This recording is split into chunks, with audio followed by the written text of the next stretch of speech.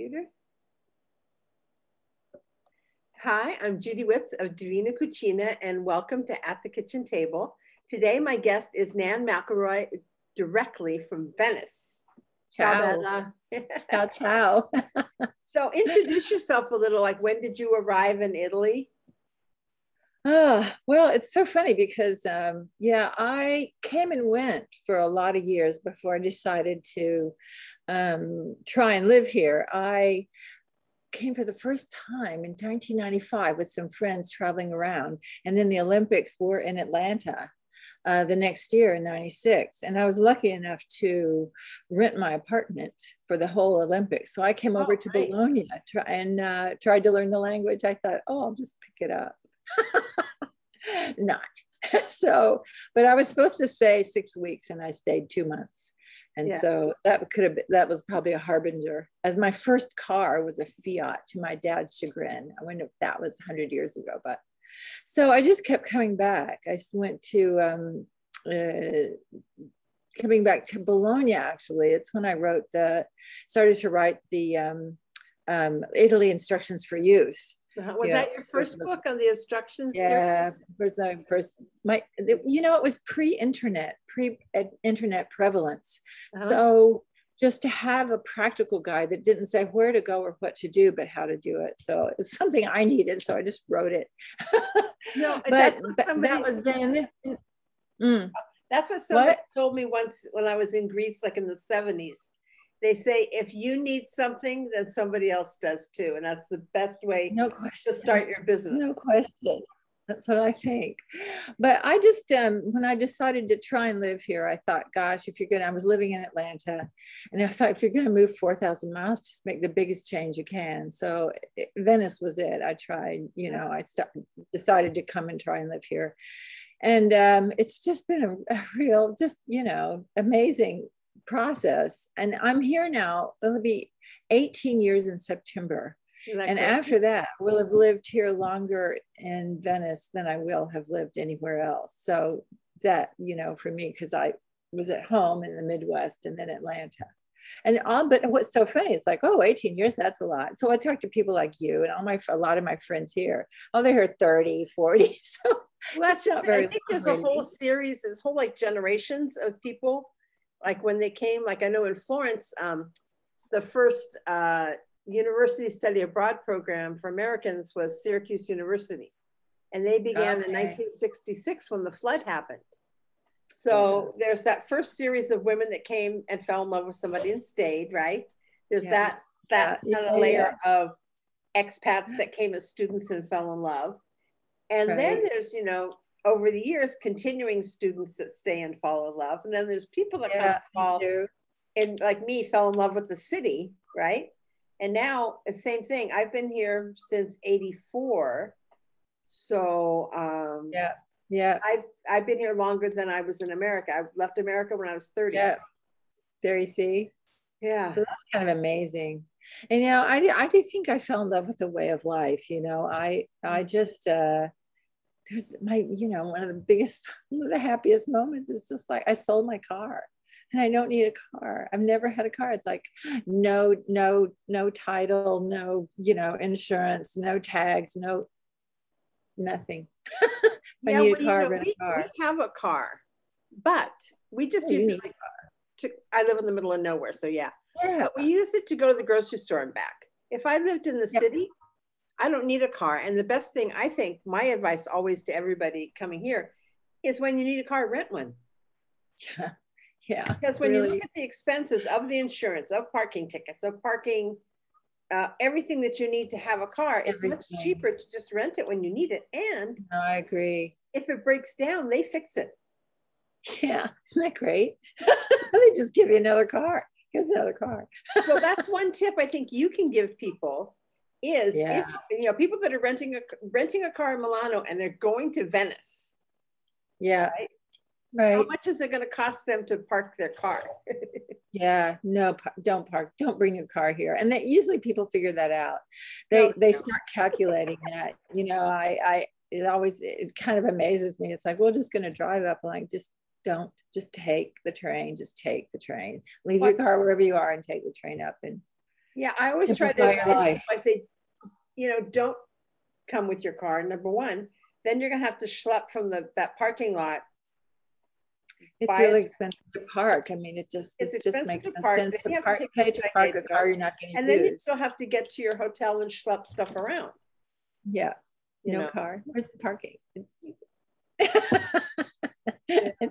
that way. It's on the mainland. Yeah. Don't know.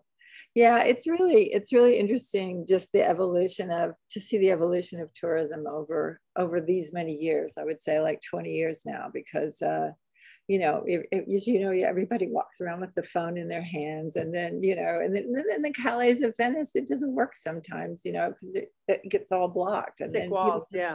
It can't it's the old Venice where you just get lost, you know.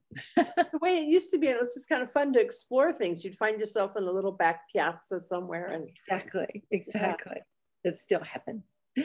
Well, it's funny because uh, the other thing that I, you know, I never expected, I never expected was to get so involved in Venetian rowing.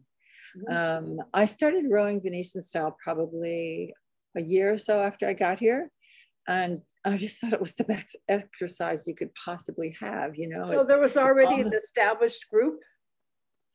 There's 20 rowing clubs here. Of women or just? No, of Venetian rowing clubs. Vene- okay. Just everywhere else they have rowing clubs where you sit down. Yeah, here yeah. they have rowing clubs where you stand. Yeah. So 20 all across the lagoon. And uh, yeah, it was very interesting. Of course, you know, everybody else had been rowing their whole lives that, that are in these clubs, you yeah. know, they're from their parents or their, you know, and of course we just show up. It was, I mean, I wasn't alone, I have to say. Um, there were a lot of women of a certain age who had not grown up rowing or they had been relegated to you just row at the front, right? You're yeah. just like in the boat and the men will row. And uh, of course, then we wanted to be really good at rowing, and the guys just didn't know what to do with us. They were like, "Well, we, you just, you know, just fine." And then, of course, you weren't very good, and then they lo- they love to make fun of you. But I have to say, the tenacity of my women friends to just like learn how to row, yeah. you know. Yeah. And now there, there's women everywhere rowing everywhere, every way you can imagine. I mean, it's it's there's nothing but the difference just just in the time that I have lived here is like this, like that. Yeah, that's so. so but it's one of the most rewarding things uh, I've ever. I mean, next to learning the language that I can say I've ever done. It's a, it's we row the like for for just for pleasure for the rowing club Settemari, for example. We row. I have learned. You know how most people do biking. You can do a biking trip around. Now we do rowing trips. So we go a week long weekend just for the day, um, row to where you're going, eat, drink, you know, stay overnight in agriturismo. Uh-huh. I have seen so much of the territory just from Rome. We, I've been to Portogruaro, I've been to Grado with the, the, the Giudecca Rowing Club. I've rowed across from Piran, across the Adriatic to Grado. Oh my God. Yeah, that's the Adriatic Sea. Yeah. And we what that is. Oh, it's time to talk to you. Huh. um, uh, yeah, that was on the that was on Ferragosto, 15th of August, I think three or four years ago. I guess it's probably longer now. But here we are on the flat Adriatic Sea because no one's working on the 15th of August. Perfect. There's yeah, no containers, there's no, that, right? nothing. So we just rode across. Here we are in our, in our three caorline, and we're all trading off because it's a bunch of women. We have our three support sailboats, and that was extraordinary, extraordinary. So, you know, everybody's always looking for an opportunity to, you know, the Po Delta all the way up, you know, until yeah, if it's rowable, some of the some of the locals, the Venetians, will find a way to lead a group there in a boat yeah, so now you offer that to tourists too, right? People that come and just want to learn how to row. Yeah, so you know that was uh, I have to you know Jane Caporal is the one who started Row Venice, and but I would, I would, when we would have friends in Venice, we would take them, you know, we'd, ha- we'd just take a boat out from one of the, front of the, from Arzana, for example, and let them row like in the evening. And I saw like the people would just be like, oh, this is amazing. I'm like, well, I know it's amazing. I don't know. And so it was sort of the combination of it's like, let's let people try to row, you know. And she had a boat and she started just doing it by herself, just taking people out. Mm-hmm. And wasn't very long when somebody put up her website that she had too many people. She couldn't do all the work. Uh-huh. So she and I joined forces, and um, uh, along with a couple, a few other women, and we have now built two boats. We're Row Venice. She's uh, she is still the the administrator. We're a nonprofit. We donate uh, funds to women rowing who are just now obtained parity, you know, the prize money and stuff, but really want to support women rowing and kids training and just really any activity that keeps this Venetian rowing um, at the center of the culture. Yeah, I was so, you know, you have a club and you have your own boats and or if we all belong to rowing clubs. I belong to two. Um, I have so I have so we have the Row Venice boats, which are the Batea Coa di Gambero. I should have a screenshot here, right? Yeah. which is that, which is the point, the the nice boats with the point on the back, um, and that we use those for our rowing lessons because they're very comfortable and spacious, and everybody's fine, whether they're water people or not. And uh, and then I have a little sandalo, which is just a little everyday boat. And then I have a boat in, with a friend of mine. It's called a Sampierotta, and it has it was developed after the advent of the outboard motor. Right, mm-hmm. so that's in the 50s. And what they did, they took the regular the sandalo uh, form, cut off the back so you could put a motor on it. So you can motor it, you can row it, and you can sail it. So Venice has oh, wow. its own uh-huh uh, one's a native sailing form as well, Bella Terzo. So, you know, I just, it's so interesting because I did not come here to like be on the water in Venice. And now I'm on the water more often than I'm in my house. Oh, you got that it's great tan going. Yeah.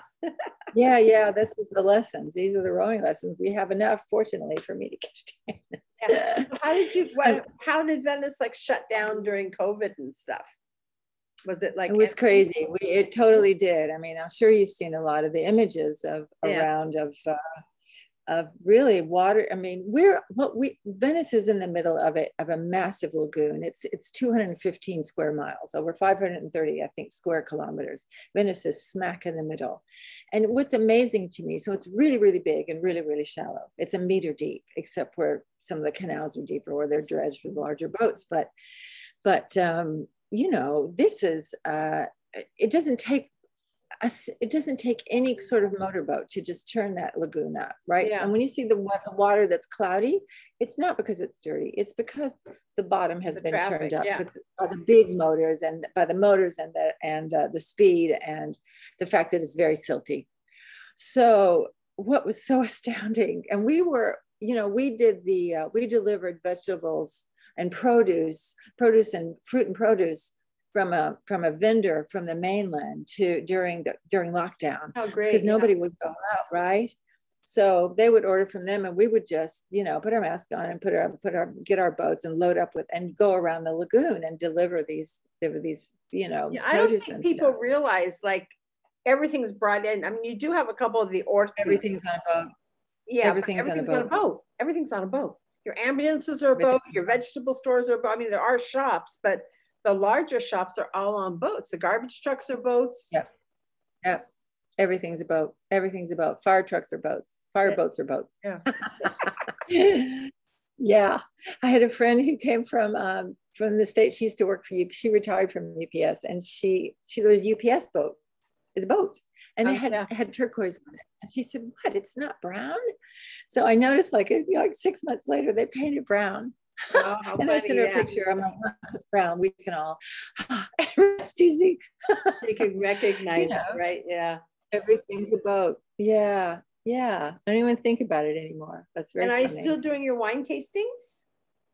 Well, the wine tastings, as you can, as you can imagine, uh, kind of um, because they were indoors they were so they sort of like stopped. And that you know we have no travelers. My uh, we have no americans really a few americans but america is not traveling us is not traveling canada is not traveling the uk is not traveling yeah, yeah. australia is not traveling. Yeah so we get french german and yeah.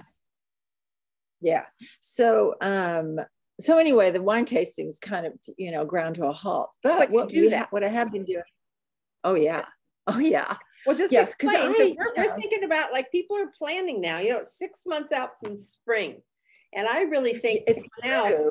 keeping themselves happy, they're planning their trips you know so exactly so I'll, that's a, so the other flip side to the row to to to the row venice and trying your trying your hand at venetian and uh, venetian rowing is the wine i became you know i came here and i i like the idea of wine and learning about wine and understanding some but you know in the states i'd had like four grapes i had merlot cabernet sauvignon yeah, yeah. you know pinot grigio and chardonnay and that's pretty much it right that's what we had for hundreds of years, I think.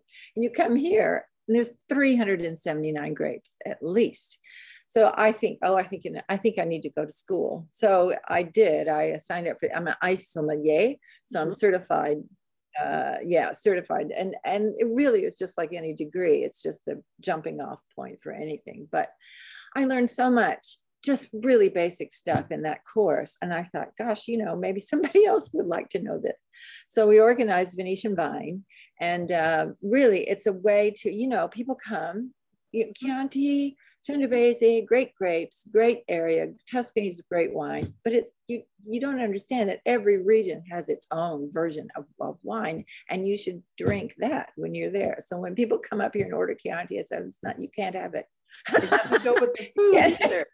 You know, the whole what does it? Carrot no, no. You know, so so anyway, I love to do tastings of um, kind of centered around, certainly centered around, we call it the Triveneto. So it's it's the Veneto, it's Friuli Venezia Giulia, and uh, Trentino Alto Adige. I mean, if you cover all, that's really just the whole northeast I would say quadrant, but it's that section, and so many grapes and so many wines, and they're just delightful. And um, so I like to have people sort of sample mostly those, but we go outside the region as well, but mostly want not international grapes. I never serve a Chardonnay, I never serve a mm-hmm. Cabernet, never, and the and the the uh, baristas will all suggest it to us. Oh, have a Merlot. Nope. but nope. you know what I find nope. is that it's really interesting because I don't think most people know what a Chardonnay grape tastes like. They know what a barrel no. tastes like. No, that's right. But I do I think having a Chardonnay in Europe is totally different and a Merlot in Europe. It is. It is. There's a I lot less wood in all of our all of our wines, and so right. I think it's um and it's also interesting usually how Italians blend and what grapes yes. they blend with. So yeah, uh, just opening up people's minds. Um, I don't. like that's really like, what we do tasting. And that's really what that's really what we try to do here is just introduce them to you know just uh, you know this as always said it's drink different you know just um try something you've never heard of and drink locally you know really see i mean and now we have so many really great wine bars that you can just say i want to try something local it's like not too heavy you know, you know a little bit fresher white or red and they'll suggest something stupid and you know really nice for you and very often we'll let you taste it before they serve it to you so yeah. you're really you know we're we're set for wine but one of the reason, number, I, reason really I live here number 270 when someone arrives is that they do book an event like that where they yeah. get to meet somebody from the region, yeah. from the area. And um, and I'm really pro expats because I think we see a different side of the city for certain things you can yeah, that's uh, true. Have a vision of what the problems might be and i think they find it easier to confide sometimes with those little problems that they're having so besides yeah. just being a wine tasting yeah. you meet someone you get some feedback and you know and yeah, somebody tell you where to go eat. You know, oh my God, you know, this isn't working. How come? And oh, we've already we know everything that doesn't work.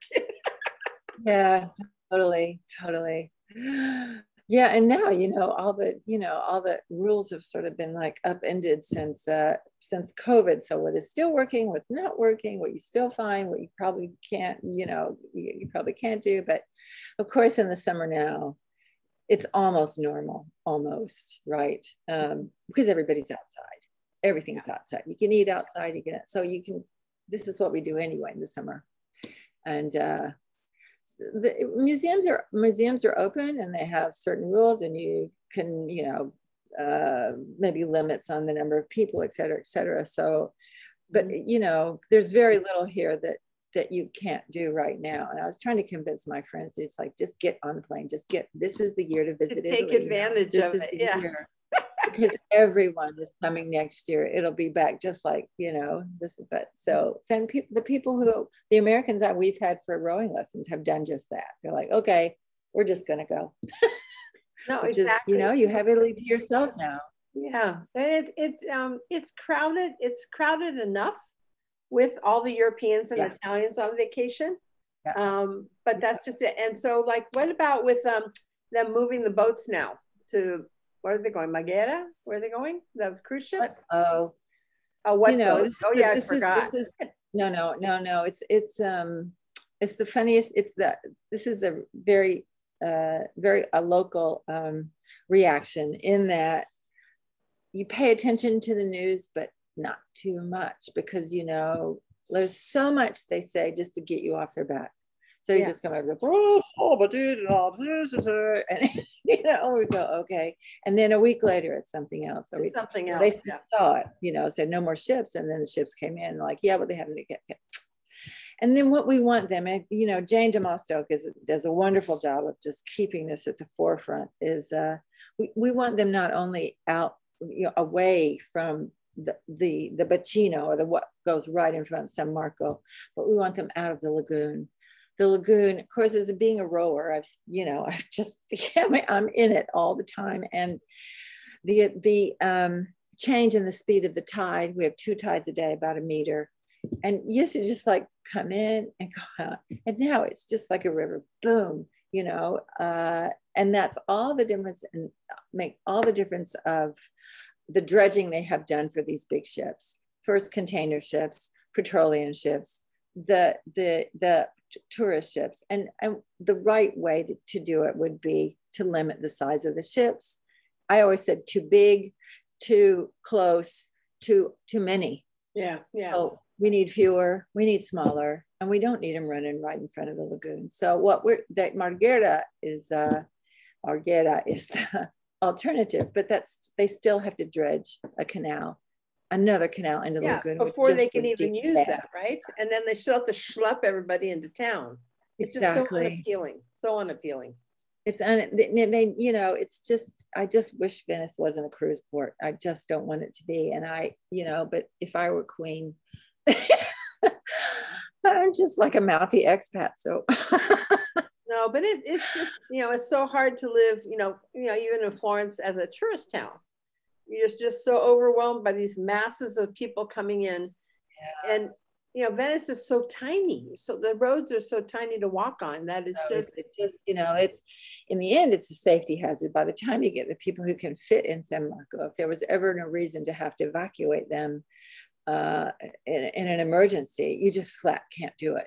I mean people would just be trampled and they would suffocate because it's not physically poss- physically go possible. You'd have to go in the water. I mean, and then you'd just be yeah, like lemming. The water's yeah, I could just see like it doesn't make any, you know, it, it's the mass tourism that is the killer. It's really, you know, buses of 80 people, buses of 100 people, ships of 5,000. It's too many people. It's too many, it's too many people to enjoy the city. You can't. Yeah. And so like how many ships would dock in a day? It wasn't just one ship of three to 5,000 people.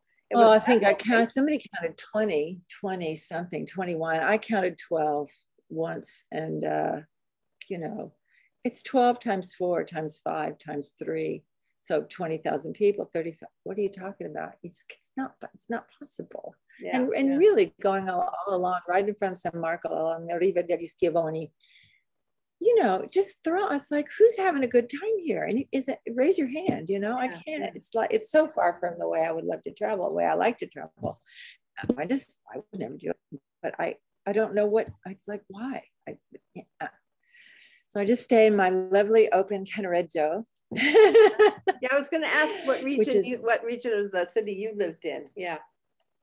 I live in Cannaregio. I live uh, near, um, is that, that's the question, right? Do you live in Venice, Venice? Like that's the test. Yeah. yeah.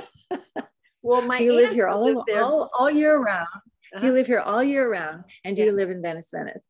Yes, yeah, yes. My um, my aunt, when her husband died, uh, cashed in like the the, the, the his uh, inheritance or whatever, and he wouldn't allow her to be an artist.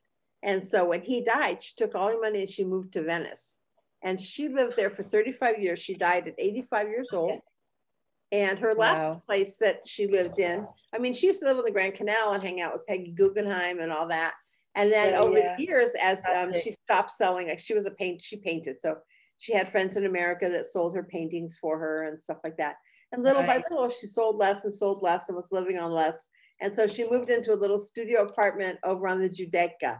It was so cute. Yeah, I know. Cute. Yeah. There's a lot of there that there are a lot of artists that live over there in Giudecca, mm-hmm. you know. yeah, no, it's it's wonderful. My favorite rowing club is over there. I just, I just like it for a lot of reasons. Um, but it's another area that's sort of a little more open. You get a little more sun, you get a little more, you know, movement and stuff. It's really Yeah, she was right on the waterfront. So she had you know, yes. there and. So I live next to, I live really close to the Madonna dell'Orto and the uh-huh. Campo dei Mori so it's really close to the Misericordia where it's all happening. I did told somebody one of my new favorite bars. It's called La Sete. It's uh, next to uh, the Rioba Osteria de Rioba. It's really lovely. I'm hoping I can do tastings there when we can pick up again. Um, uh, and uh, I said I didn't think it was possible to have a bar closer to my house, and yet they did it. oh no! Cheers. Isn't that crazy? Yeah. Like, oh well. How fun, huh? So that's good. That's great. Yeah. And so, um, so what else? It, are the instruction books still around? They are around. I think they need to be upgraded. And I was trying to think of um, putting them online somehow but I would have to go run around and uh, and uh, do the research for them. And what's what's happened is once you get, you know, you once you get where you're going, you're you're sort of planted there. I have done done haven't done enough traveling, you know, in the myself. So I'm hoping that that will change shortly. You know, like next year, I hope I can get out and about a little bit see see the rest of return to the rest of Italy. I was thinking about the Sabine, this uh, Sabina, mm-hmm. uh, the Sabine Hills on the northeast, or the Sicily, or even Puglia. Yeah, I yeah. need to get I need to get to get out and about. yes, I love Sicilian wines so much. Don't I? You know Arianna Occhipinti. Do you know her? Yeah. Do you know her wine? Well, I know her wine. Yeah. I, no, no. The thing yeah, is, yeah. I don't no, no, really fabulous. like going on wine tours, like to wineries. I just like right. to drink. I agree. I don't want to hear yes. the stories about the barrels and, and all that kind of stuff, you know. Um, yeah. Yeah. I'm just not a Well, the thing really is, if you go to a winery, if you go to a winery, you just get their wine. If you go to a to a local, a really good wine bar, then you can have a choice of wines and you can compare and like contrast and that. And I like having so, it with food. Oh, absolutely. So I like absolutely. being so I like being informed and I like tasting a lot and I like drinking a lot. And yeah, I love um, small women winemakers and yes. I like um, things from Mount Etna. So I think you I yes. mean living here we get we're lucky that we get to taste this stuff all the time. Indeed. I Indeed. can get some of the more commercial wines in my grocery store, you know, Donnafugata and sure, and, you know, sure. a lot of things. And then you start to learn and talk about weird grapes, man. Oh God, Sicily. it's like you're tasting yeah. like the original Greek grapes that wine was first made out of. But uh, yeah, I think wine travel is fun with people understanding to really drink locally when you're eating. You know, ask for a local wine. Maybe start with a table yes. wine and learn about these little grapes and see which one you like, and then build up. And I think also that um, Italy doesn't mark up the wine prices as much on bottles when you're eating. Oh, no, but you can drink. You can drink. A really good wine inexpensively. And if you go and buy it at the grocery store, you save a ton of money, but it's not yeah. like in America where something would be like so outrageously expensive, you know? No, I agree. I don't. I don't understand it. And I. It, it, what's lovely now is that a lot of the rest, my favorite restaurants here, and I'm sure other places, um, once upon a time, if there were just two of you, you would go and you decide what bottle to order, and then you, you know, ho- hopefully drink the whole thing. But now, um, Vino Digio is one of my favorites. He's got so many wines, you yeah. know, by the by the glass. So you can go maybe two or four people, and he'll bring you a bottle or a glass, you know, for each each course. So you can have a small, you can have a lot of different like a tasting size of wine. Exactly. and uh, it makes all the difference. I mean, how can you decide about one bottle, the whole thing, your whole dinner, your whole, you know, it's just is another option. Now, if there are six of you at a table, then you're going to get a bottle That's no around problem. it. Yeah, yeah, off very easily, so no problem. you know, Vini da Gigio is one of the first places my aunt sent me to, and when I we bet. went, it was a bacaro in the front. Yes, And there was a little door, and you went into the back, and you got to the restaurant. Isn't that crazy? Yeah, Not now. they've done, but It's they've so done funny. really well. They've worked really hard, and they've done really well. No, it's one of my. It's one. I have a lot of go-to's restaurants, and of course, you you decide on the where you're going to eat, uh, depending on who you're going with and what they want and how they want, et cetera, et cetera. But you know, I just I'm always. It's just a delight to be able to take people there. It's close to me, and uh, everybody's always happy. I'm happy, and they're happy. That's all you need, right? you know, that's all you need. You know, I want to go. I'm not going to go anywhere if I'm not. If I don't want to eat there, I'm not going with you. Well, yeah, I think that's us too. It's like we'd rather stay at home and just even have a mozzarella and tomato. I have I have Yeah. to go out to a restaurant I love. It's- Yeah, I agree. not It's too much it. money not to be I can't. me. I'm not going to make you happy. If I don't want to eat there, I'm not going. "Nah," so funny. If you don't have good Yeah, feelings about that. crazy. And so, um, what I'll, I'll also put a link to your website uh, on the link to this and like YouTube and everything. Do you have one website? Yeah, I would do Instagram. I my website is has stuff on it, but I I'm not very good at like keeping up. But but yeah, put rowvenice.org and uh, Venetian Vine. Absolutely. We could put Instagram, and then do you have Venice. like a links to everything from there? Yeah, that's good. That's I'm living I'm living Venice, so that's that works well. I can do a little bit of everything there. So So, super. um, well, this is such a great thing that you're doing. You've just like you've just like regrouped completely since since What COVID. else is there I- to do? I didn't want to sit you. around and just be depressed. You know, No. I mean, that's just it for all of us living in tourism. I mean, everything just Yeah. vanished, you know? Yeah, we just we, it was just like poof. And uh well, I think we understand now that we're gonna have to live with this thing. I'm for row for I'm gonna go up to England. I'm leaving on Monday and we're doing row Venice, we're doing um uh, uh we're try, letting people try uh, Venetian rowing in Woodbridge, which is on in Suffolk, near the you know where it's near the the uh, Sutton Hoo. Did you see the movie The Dig? Nope. Okay, well, it's that big, long Anglo-Saxon ship, but with it's a great film, by the way. But anyway, we're gonna. They have a local local uh, rowing club there, and then some people are coming from London, so we'll be doing some. We're demonstrating and letting them try the try Venetian rowing there. The the the uh, um, rowing club City Barge, which is a Venetian rowing club from Oxford, is bringing over two boats. So I'm going to take my KN95 mask and I'm going to wear it yeah. all day on the Now, plane. when and you, I know that when there, British and, you know, people come is what we're here, doing. When Brits come here, I know they're supposed to quarantine for five days. Do you have to quarantine going there? Have you ever known anyone to even pay any attention to that? They don't call, they don't check. You know, I don't know. I just, um, I wouldn't. Well, I'll, I'm willing to quarantine when I come back, but all I can say is the difference between what happens when you go to England, you know, before they drop the quarantine, you know, they call every five minutes and like, where are you doing? What are you doing? Get here? They say, well, you have to quarantine for whatever. And it's ciao. Yeah, yeah, yeah, yeah. I know, but yeah, I'm gonna, you know, if they, I'll, I'm happy to quarantine on the way back. So that's, it's only five days, which is good. You take the two. Yeah, it's, it's no big deal, but I was just wondering if they had the same thing going there, because I know I have a friend that lives in England and she's They terrified, you know, it's just, it's such a mess there that people that, um, that have had COVID are getting it again, so I don't know what's going on. It's a mess. Yeah. Well, I think, you know, don't go to the pub for one thing.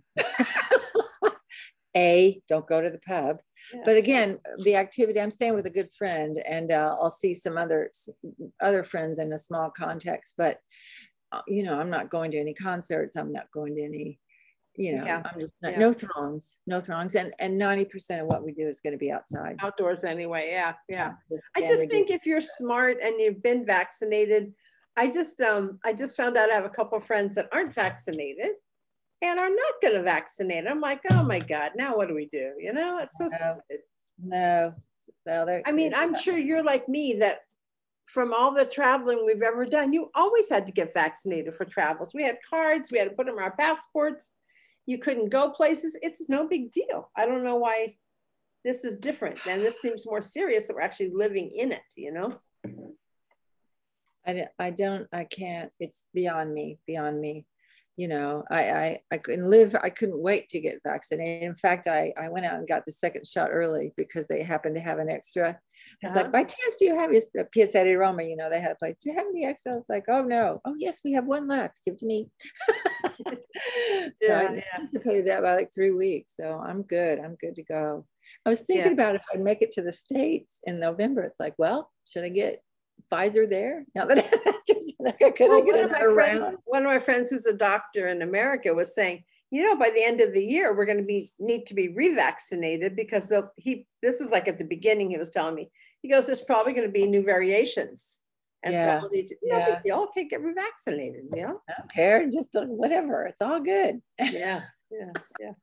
Well, then thank you so much. This is so nice to see you. We don't see each other. Well, I know it's so good to catch up and so good to see you. And now you're doing great. And this is an amazing thing. I mean, just complimenty. well, you know, I, I don't understand. Well, I don't know. The world has just changed. Nobody calls anybody anymore. Everyone's no. like just messaging. And it's like sometimes just hearing somebody else's voice and yeah, then no seeing a face, you know, is um I agree. I think we need a little more real contact, especially now that we are no, no cut off for so long. I can't wait. What was so funny though is I never ever did a video call before COVID ever. I never looked at my phone on the video. I never, you know, I would talk on the phone and we would message, but I would, and I would chat, you know, audio, FaceTime audio. But I uh-huh. never did a video because I didn't want to be glued. Well, I think this is also nicer on your, when you're on your computer or something because it's farther away when you're on your phone, you're kind of like yeah. right nose. yeah, exactly. Oh, then you're married to it, you know. Yeah. But it's just well, it's a whole world again. Yeah.